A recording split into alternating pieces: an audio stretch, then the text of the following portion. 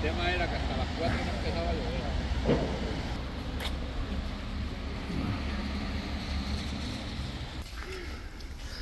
Bueno, pues ya lo están viendo, es el aspecto de la, de la Plaza de Toros de Segovia, donde estaba prevista esa corrida de toros del día de San Pedro, con ese cartel tan apetecible para ver y desde primera hora de la mañana, después de no haber dejado de llover durante toda la tarde-noche de ayer,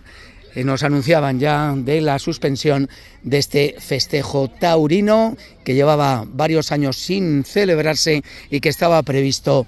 para la tarde de hoy, sábado día de San Pedro y San Pablo. Ven los charcos en el ruedo que impiden evidentemente el celebrar esta tarde ese festejo taurino.